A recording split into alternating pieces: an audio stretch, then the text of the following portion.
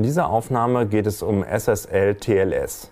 Die Abkürzung SSL steht für Secure Sockets Layer ähm, und war eine Entwicklung von dem damals führenden Browseranbieter Netscape Communications.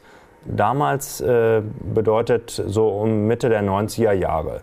Und die Idee war, eine Sicherheitsschicht zwischen die Anwendungs- und Transportschicht einzuziehen, äh, sodass das ähm, Aufrufen von Webseiten nicht mehr so äh, unsicher wie bisher äh, war. Denn das ähm, eigentliche HTTP-Protokoll ähm, hat ja kaum Schutzmechanismen, was die Vertraulichkeit, Integrität und Authentizität angeht.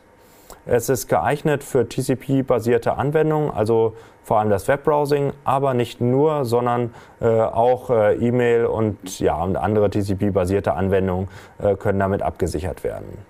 Die Internet Engineering Task Force, ähm, die griff die Entwicklung, also halt diese proprietären Entwicklungen auf und bildete eine eigene äh, Arbeitsgruppe namens Transport Layer Security und äh, diese spezifizierte dann 1999 die erste Version von Transport Layer Security, die dann allerdings äh, ja, inhaltlich und auch vom Konzept her nahezu identisch war mit der dritten Version von SSL.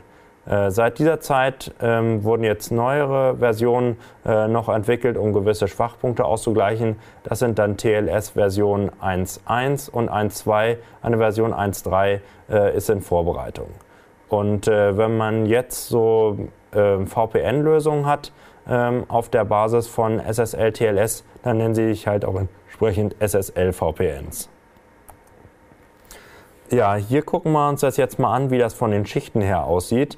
Also ähm, das Ganze ist angesiedelt zwischen der Transportschicht äh, und der Anwendungsschicht. Und äh, das äh, SSL selber ist dabei noch in zwei äh, Schichten untergliedert. Das SSL-Record-Protokoll äh, ist dabei die Basis und äh, vier andere Protokolle äh, bauen darauf auf. Da haben wir zunächst mal das SSL Handshake Protokoll. Ja, wie der Name Handshake ja schon vermuten lässt, ist das ein Protokoll, äh, was am Anfang äh, beim Verbindungsaufbau mit vorkommt und es dient dann zur Authentifizierung, zum Schlüsselaustausch und zur Aushandlung der weiteren Parameter. Hierbei kann beispielsweise RSA oder das Diffie-Hellman-Verfahren verwendet werden. Das Change Cipher Spec äh, Protokoll äh, ist nur ein sehr einfaches Protokoll äh, und ist ähm, ja quasi nur eine Dateneinheit, die dann anzeigt, dass ab jetzt dann diese ausgehandelten Dinge, also die beim Handshake ausgehandelt wurden, nun tatsächlich Verwendung finden und dass ab jetzt verschlüsselt kommuniziert wird. Das Alert-Protokoll dient für Warn- und Fehlermeldungen und äh, dann das Application Data Protocol dient zum Austausch der Daten mit der konkreten Anwendung. Also da ist auch nicht viel hinter, äh, was dieses Protokoll angeht. Das SSL Record Protokoll äh, dient dazu, äh, dann im laufenden Betrieb die Ende-zu-Ende-Verschlüsselung äh, tatsächlich durchzuführen, also mittels der symmetrischen Algorithmen, wobei Optionen wie äh, AES, Camellia und Triple DES zur Verfügung stehen und auch für die Sicherstellung der Integrität und Authentizität äh, mit so HAMEC-Verfahren, wo entsprechend SH-Sternchen, SH1 oder MD5 gewählt werden können. Ja, bei der Aushandlung ähm, am Anfang, also mit dem Handshake-Protokoll, da werden jetzt sogenannte Cipher-Suites äh, vereinbart. Und hier ist das mal erklärt, ähm, ja, wie dieses zu lesen ist. Also die Cipher Suites ähm, steht am Anfang sonst äh, TLS, also für Transport Layer Security. Und äh, der nächste Block, der darauf folgt, äh, zeigt an, äh, wie der Schlüsselaustausch durchgeführt werden soll. Also das heißt, welche asymmetrischen Verfahren äh, kommen hier zum Tragen, um den Schlüssel sicher auszutauschen. Ähm, dann ähm, ja, geht es um im hinteren Bereich darum, wie das Rekordprotokoll arbeitet. Das heißt, wie wird die Verschlüsselung dann im laufenden Betrieb, das heißt die symmetrische Verschlüsselung durchgeführt. Das wäre jetzt hier, ähm, würde jetzt ein AES-Verfahren mit 256 Bit äh, und mit dem Modus Cipher Blockchaining äh, verwendet. Und äh, außerdem wäre hier die Integritätssicherung vereinbart und äh, das wäre jetzt hier SHA äh, mit 256 Bits. Ja, hier sieht man jetzt auch nochmal, wie das Rekordprotokoll äh, dann arbeitet. Also wenn man jetzt Anwendungsdaten hat, äh, dann werden die Anwendungsdaten zunächst einmal fragmentiert. Ist jetzt eine andere Fragmentierung als auf der IP-Ebene, ähm, sondern die ist ja auch auf der Anwendungsschicht und äh, teilt dann äh, Teile auf, die maximal 2 hoch 14 Bytes, also das sind 16 Kilobytes, enthalten. Äh, diese Teile werden dann zunächst mal äh, Plaintext Record genannt. Äh, danach ist äh, vorgesehen, dass man das Ganze komprimieren kann.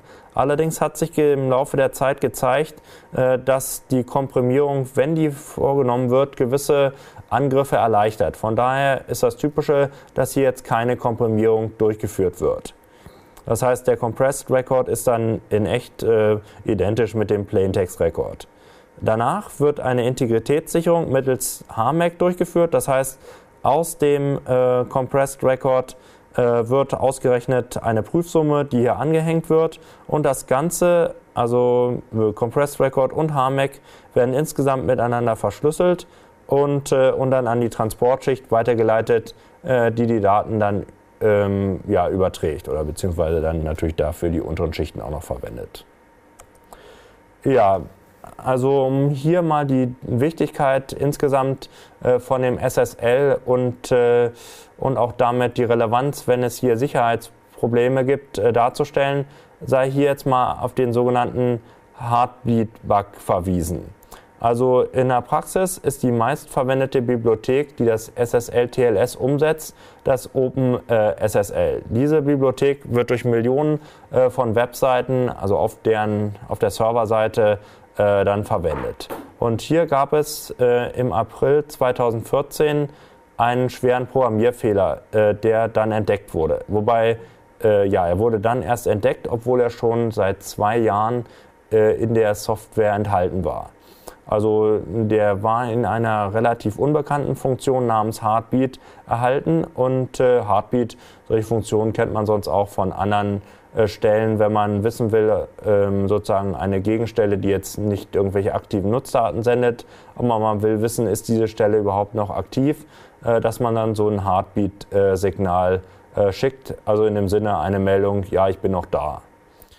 Hier wurde das Ganze jetzt so äh, implementiert, dass der Client hier Testdaten äh, schicken kann, äh, gibt eine angegebene Größe an und, äh, und der Server erhält diese Testdaten und schickt die Testdaten einfach wieder zurück. Wobei es jetzt hier der Programmierfehler darin äh, lag, dass diese Größe äh, von den Daten, die damit angegeben wurde, nicht überprüft wurde, ob die Daten tatsächlich so groß waren. Also man konnte jetzt zum Beispiel nur ein einziges Byte schicken und gleichzeitig eine äh, Größenangabe machen, dass diese Daten 16 Kilobyte groß sind. Äh, der Server überprüft das dann nicht, also das war der eigentliche Programmierfehler und, äh, und sendet insbesondere dann Daten zurück, die er sonst so in seinem Arbeitsspeicher hat. Und das konnte dann insbesondere der Fall sein, dass dass dort gerade der private Schlüssel sich befindet. Den privaten Schlüssel, den, den muss man ja im Arbeitsspeicher haben, wenn man den äh, verwenden möchte. Und äh, ja, insofern äh, konnte es dann sein, ähm, ja, dass der private Schlüssel so zu dem Client gelangt und, äh, und von daher kompromittiert ist. Und ähm, ja, es, es ist jetzt halt die Situation äh, so, dass, dass wenn jetzt zum Beispiel Angreifer schon längere Zeit den Internetdatenverkehr aufgezeichnet haben. Und äh, nehmen wir an, die beobachten jemanden jetzt schon für Monate, konnten ihn aber die ganze Zeit nicht entschlüsseln. Und äh, ja, wenn sie jetzt durch Heartbleed quasi in den Besitz des privaten Schlüssels kommen, dann können sie den Datenverkehr auch rückwirkend äh, über die letzten Monate aufzeichnen, äh, wenn der Server nicht ähm, sogenannte äh, Forward Secrecy äh, verwendet hat. Dann, ne?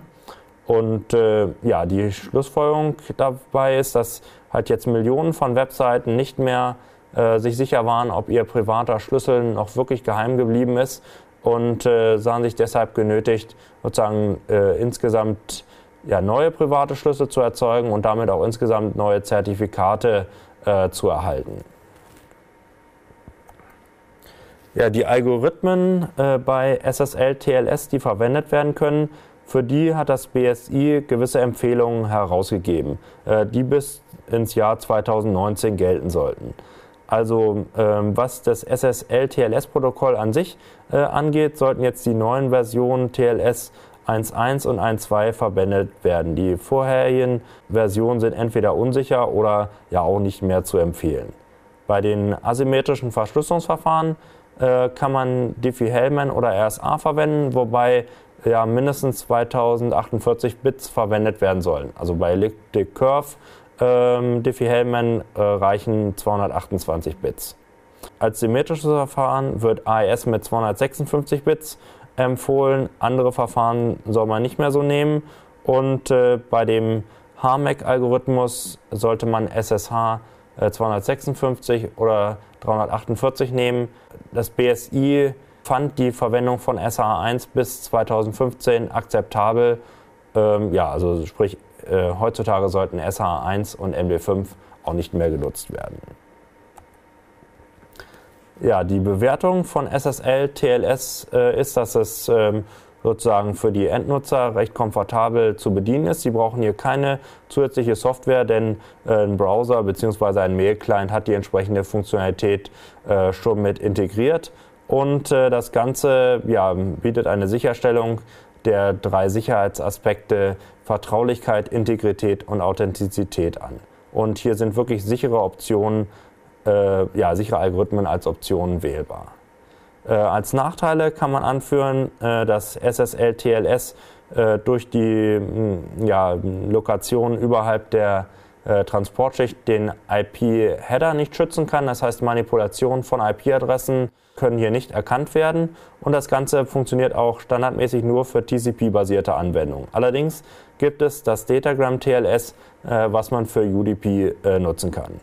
Es ist äh, jeweils eine Konfiguration pro Anwendung äh, notwendig, die man damit äh, schützen will. Äh, das wäre mit IPsec zum Beispiel einfacher. Und ähm, ja, und man muss die Clients hier entsprechend absichern, äh, die das Ganze verwenden soll. Also Firewalls, Virenscanner äh, sind hier auf jeden Fall notwendig. Und ja, und dann gibt es eine ja, komplexe Situation, was die Vertrauenswürdigkeit der Zertifikate angeht, denn äh, ja, Zertifikate, die wurden auch schon von nicht vertrauenswürdigen Zertifizierungsstellen ausgestellt. Und es ist standardmäßig so, dass eine der Zertifizierungsstellen, der man standardmäßig vertraut, das ist eine, sind eine ganze Reihe von, äh, von solchen Zertifizierungsstellen, die können quasi alles äh, zertifizieren. Von daher kann das eventuell dann nicht passen, was man hier für ein Zertifikat äh, vorliegen hat.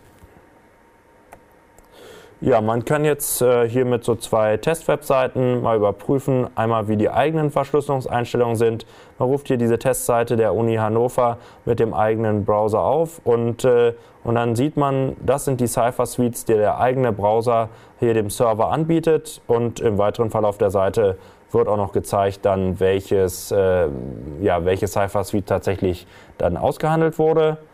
Und mit der äh, Webseite äh, von den SSL Labs äh, kann man Server im, äh, im Netz äh, überprüfen, also seine eigenen Server hier testen, inwiefern die SSL TLS-Einstellung des Servers dem Stand der Technik entspricht und wird hier entsprechend bewertet.